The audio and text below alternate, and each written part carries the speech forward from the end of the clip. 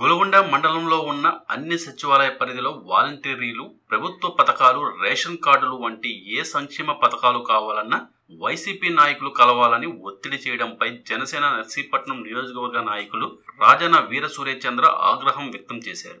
శుక్రవారం గొలుగొండ మండల పరిషత్ కార్యాలయం వద్ద ధర్నా నిర్వహించారు. ఈ సందర్భంగా సూర్యచంద్ర మాట్లాడుతూ గొలగొండ మండలంలో ఉన్న అన్ని గ్రామ వాలంటీర్లు ప్రస్తుతం ప్రభుత్వ సంక్షేమ పథకాలు ఆయా గ్రామాల్లో ఉండే అర్హులై ఎవరైతే సంక్షేమ పథకాలు నోచుకుని వారు ఉంటారో ఆయా గ్రామాల్లో ఉండే స్థానిక వైసీపీ నాయకులు ఇంటికి రప్పించుకొని మీకు సంక్షేమ పథకాలు మేము ఇస్తాము మేము ఎప్పుడు చెబితే అప్పుడు మీటింగులకు పిలిస్తే రావాలని చెబుతున్నారన్నారు. అంతేకాకుండా మేము ఎప్పుడు ఎన్నికల్లో పోటీ చేసినా మాకే ఓటు వేయాలని చెప్పడం ఎంతవరకు సబబు అని ప్రశ్నించారు. ఈ విషయంపై తక్షణమే స్పందించి తగు చర్యలు తీసుకోవాలని డిమాండ్ చేశారు. అనంతరం ఎంపీడీఓ డేవిడ్ రాజ్కు వినతి పత్రం అందజేశారు.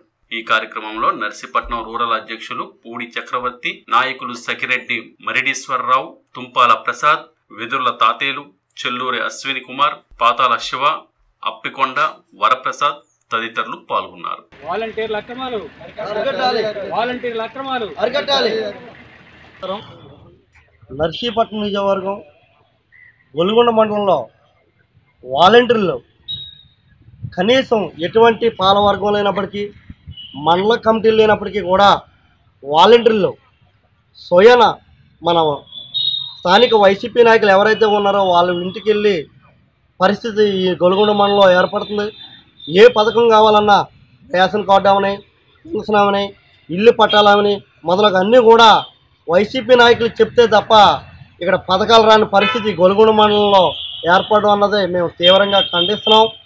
ఇదే వైఖరిగా కొనసాగితే జనసేన పార్టీ భారీ ఎత్తు ఆందోళన చేపడుతుందని కూడా మేము హెచ్చరిస్తున్నాం.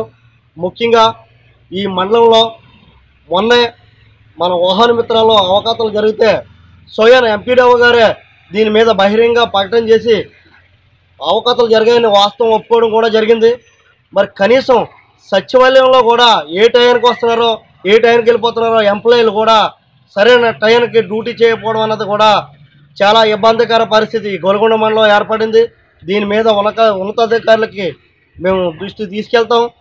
ఇదే వైఖరిగా కొనసాగితే జనసేన పార్టీ దీనికి తగిన బుద్ధి చెప్పే విధంగా జనసేన పార్టీ ఉంటుందనే విషయం గమనించవలసిన అవసరం ఉందని కూడా తెలియజేస్తున్నాం.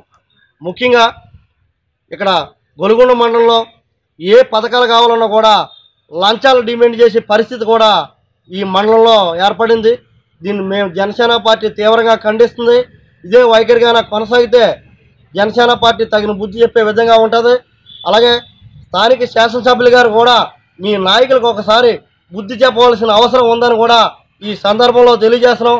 మీ ముఖ్యమంత్రి గారు కులం చూడమంటున్నారు మతం చూడమంటున్నారు.